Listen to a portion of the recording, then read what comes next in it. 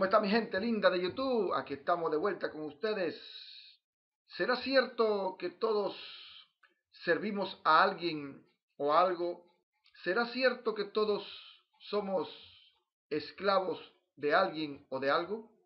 Lo cierto es que en este siglo XXI, en pleno siglo XXI, donde existen tantos adelantos tecnológicos, donde hay tanta información a nuestro alcance y a nuestra disposición completa, vemos que hay muchas personas que han perdido su vida cuando no se someten a ese alguien o a ese algo. Pues dicen por ahí que todos somos esclavos de alguien o de algo. Y ciertamente nos ponemos a pensar y llegamos a la conclusión de que sí, todos somos esclavos de algo o de alguien. Trabajamos para alguien, servimos a alguien. Hoy les vengo a hablar acerca de ciertas personas que por no someterse a los caprichos de ese alguien o de algo, perdieron sus vidas. Vamos a hablar de grandes inventores, personas que se adelantaron tal vez en el tiempo, tal vez se adelantaron a su época. Y son muchos los que quisieran tener en sus manos la habilidad de poder inventar cosas que sean revolucionarias, cosas que cambien el curso de la historia. Pero realmente es bastante peligroso embarcarse en una aventura tal. Por ejemplo, tenemos a un filipino llamado Daniel Dinger. Este hombre hizo funcionar su automóvil solamente con agua, así como lo escucha. Y este hombre fue sentenciado en el año 2008 a los 82 años de edad a 20 años de cárcel. Vaya usted a saber por qué en realidad a este hombre, a este anciano, lo sentenciaron a 20 años de privación de libertad. Por ejemplo, también existe un norteamericano llamado Stanley Mayer. Este hombre hizo funcionar su automóvil con agua también, solamente usando agua del caño, del grifo de la llave. Y murió este hombre gritando, me han envenenado, me han envenenado. Su hermano denunció posteriormente el robo del invento, es decir, del automóvil que funcionaba con agua. También tenemos la historia de un español llamado Arturo Esteves Varela. Este hombre hizo funcionar su motocicleta solamente echándole agua en el tanque de combustible, donde iría el combustible. Y este hombre ante un notario de Sevilla donó sus patentes al Estado español para que fueran puestas a disposición de los demás.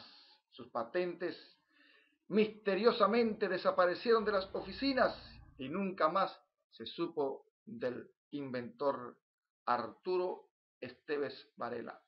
También tenemos la historia del norteamericano Paul o Paul Panton, inventor del motor Panton, que funcionaba con un 80% de agua. Este hombre fue condenado judicialmente y encerrado en un lugar para personas trastornadas de la mente, en un psiquiátrico. Imagínense ustedes.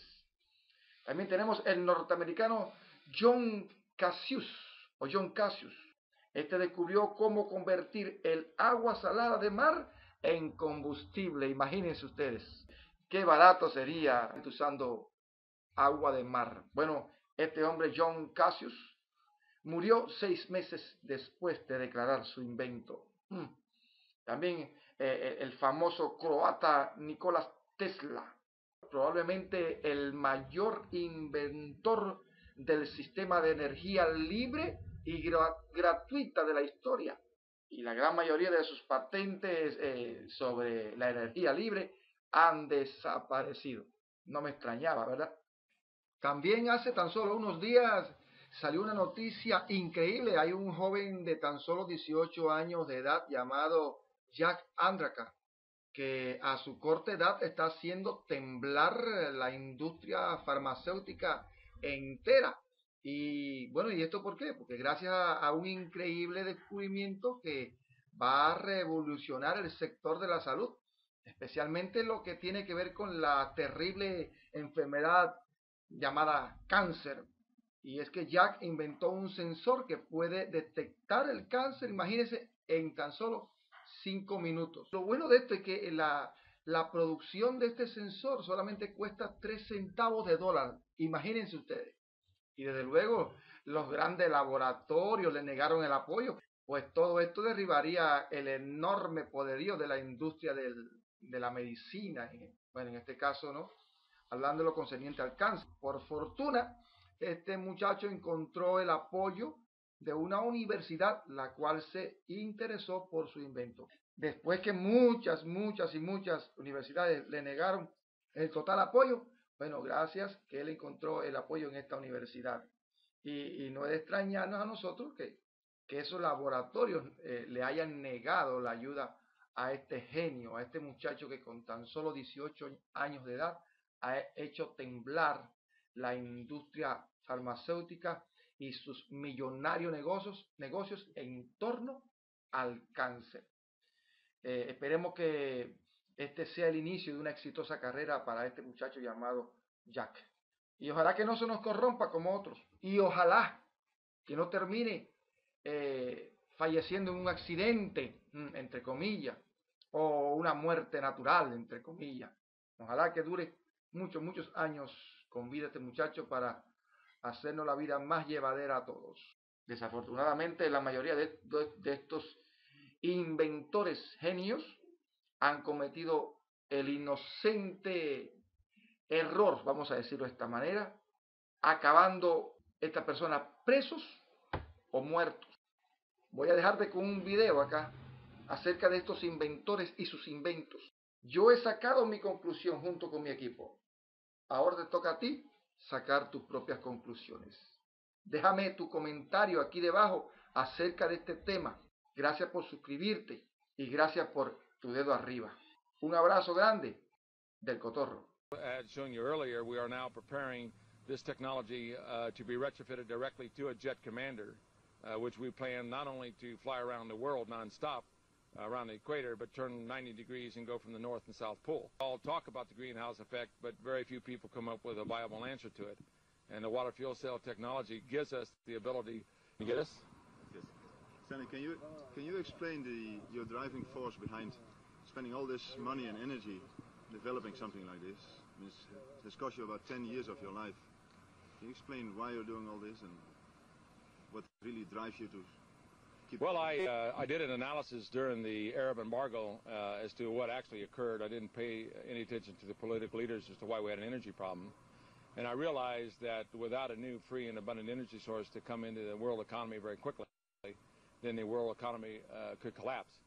So, uh, as a scientist, uh, I have a very diversified background from research development, product development, engineering, and corporate entrepreneuring. And so, as a scientist, truth is truth, and I have responsibility just as I have a responsibility to the water fuel cell technology to try to bring it out into the world. Now that we've, uh, now that you've heard how the thing functions, you explained your background, why you're working on this thing. Uh, what do you think of possible applications, and where do you think this this device can be applied in what scale and what's the amount of energy we can get out of it? Like you talked before about converting cars, uh, com commercial airplanes.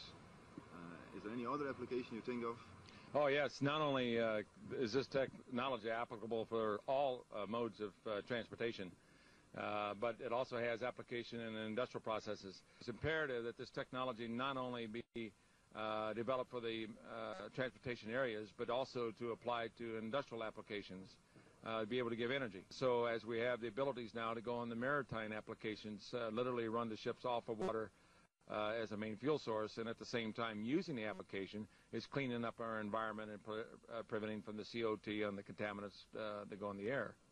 So we can move this technology bilateral on every aspect of the economy and do it very, very quickly. And so that, that led us, leads us now into the fact that we have been developing this technology uh, for mass production on the same boat. And what we're doing is illustrating that, yes, the technology is viable, here we do have a viable technology that we now can use water as a fuel source because water is a, a very uh, free and abundant uh, fuel source. This technology uh, into the marketplace to stabilize our countries. Of technology into their countries to stabilize their, their economic base. Time scale for mass production set up yet? And second, do you have any organization or you're planning an organization international or? Yes, we are. I'm negotiating with many uh, leaders of different countries of the world. Do this by simply turning the technology over to many, many uh, fabricators and uh, people who have certain skills uh, in the machining areas or mass production areas that will allow this type of technology to be produced very quickly. Thanks very much for this interview. Oh, my pleasure. We appreciate it very much. Thank you. You're welcome.